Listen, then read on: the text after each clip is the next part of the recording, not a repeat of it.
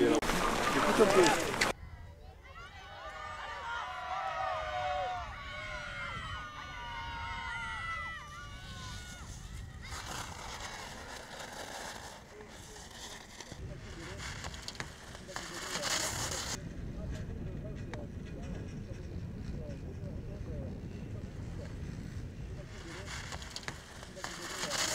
De, de vitesse.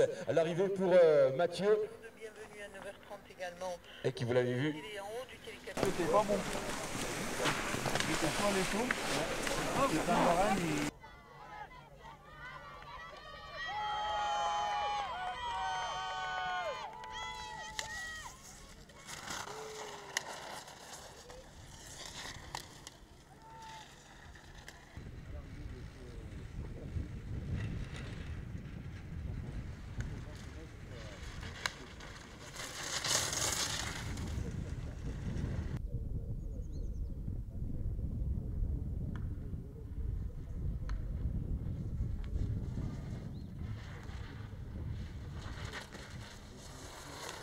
Ce soir sur la place centrale d'Oron.